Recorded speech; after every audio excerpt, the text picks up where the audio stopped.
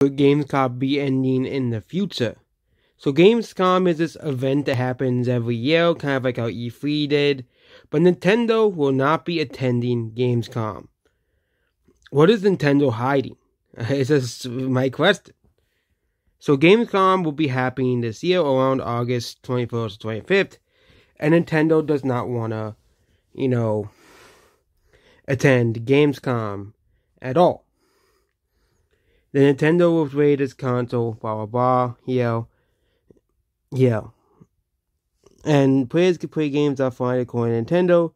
Says the Pokebank and PokeTransfer retain online functionality, presumably since it's still used by players and online connectivity is a central mechanic. Nick. As well. And that's about that, but Nintendo is not doing anything for Gamescom as well. And yeah.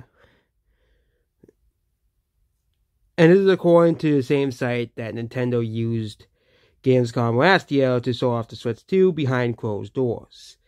And that's it about this video here. Goodbye.